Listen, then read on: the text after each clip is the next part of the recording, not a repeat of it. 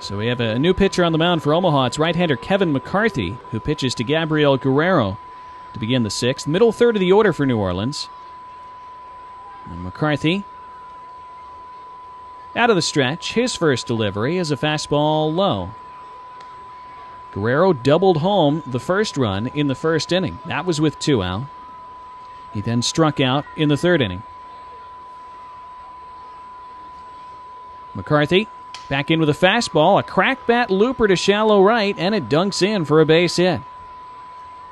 You could hear the bat crack on impact, but Guerrero has his second of the day. Hit number five for New Orleans. So a man at third with two out and an 0 1 count on Gabriel Guerrero, who chased a curveball in the dirt.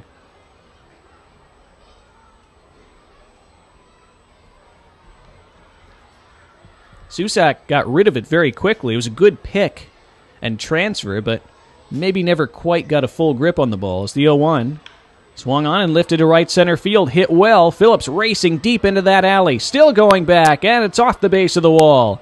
Gathered in on the carom by Phillips as Rivera easily scores and Guerrero legs into second with an RBI double. And yesterday, that would have been a home run by some distance, I think. That crosswind cut that ball down and kept it in the park. But even so, very impressive strength and power by Guerrero to hit it over the outfielders' heads in this crosswind to right center. So, just as